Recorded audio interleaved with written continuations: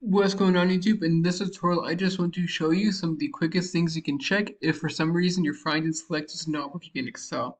So here I just did Control F.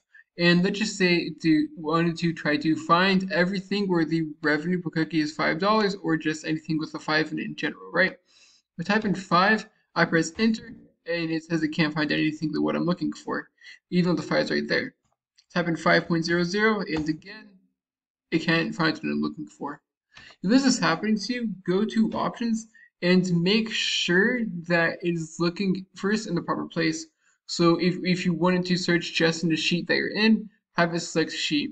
Or if, you want to look the entire workbook, press workbook and this will search multiple sheets. Um, and then also look in. So whenever, whenever Excel is looking for stuff, you do Control F, it looks in multiple places, and you can kind of select where it wants to look in. So for example, it can look in formulas, is look for fives for instances where you have like a five in your formula, look in val which is look in values, or you can have a look in notes or look in comments. And for some reason, I had it look in, in looking at my comments, but I'm going to want to have it in the values that I have in my cell. And if I click find next, as you can see, it is finding the five now.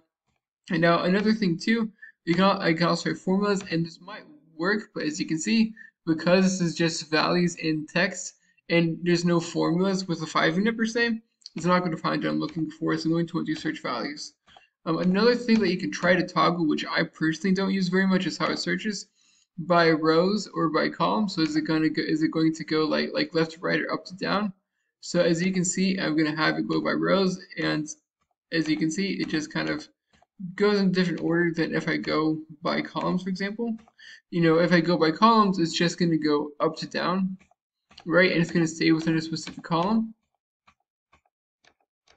like so. But if I go by rows, it's going to go left to right, more so than just by columns. Um, and lastly, you want, you want to make sure they don't have match case or match entire cell contents or selected and want to make sure you have no format selected to get your best results if you're trying to find something and it's not working for whatever reason.